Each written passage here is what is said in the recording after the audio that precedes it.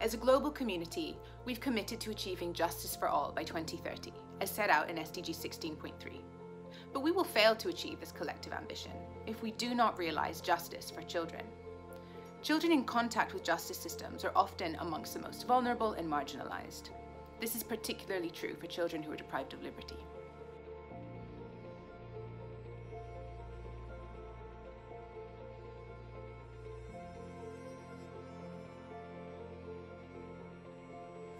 Depriving children of liberty is almost never in their best interest. Our action to release of children from detention during the pandemic is crucial in accelerating progress around increased use of non-custodial measures for children in conflict with the law. If it is possible to release children from detention during the COVID pandemic, then it is equally possible to release children from detention where there is no global health emergency. With this global campaign, our interventions have supported immediate emergency release of hundreds of children in Africa, Eastern Europe, Latin America, and the MENA region. We also laid the foundation for more resilient child justice system by issuing concrete guidance to frontline justice practitioners, in particular social workers, legal professionals, and security forces. With those operational guidelines, we have precised how the role of professionals could be activated in facilitating children's access to non-custodial measures. The main objectives of the global campaign to accelerate the release of children in detention during COVID have been to call on states to release children deprived of liberty in criminal justice systems, build knowledge and mobilize interdisciplinary partnerships to implement non-custodial measures for these children and ensure their safe reintegration into families and communities and empower children in conflict with the law to claim their rights.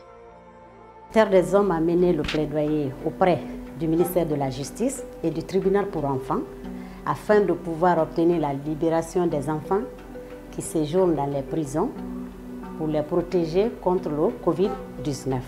J'ai vu un groupe de police qui s'était arrêtés. Ils nous ont attrapés tous.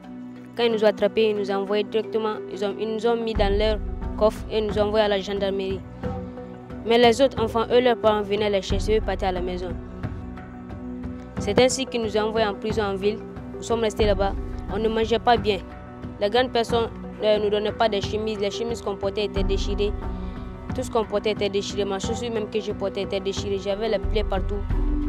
Les mouches venaient chasser sur mes plaies. J'avais des boutons aussi. J'ai vu un papier que la terre des hommes sont venus pour libérer tous les enfants qui sont du prison. Ils nous ont libérés tous. Quand ils nous ont libérés, nous sommes venus ici.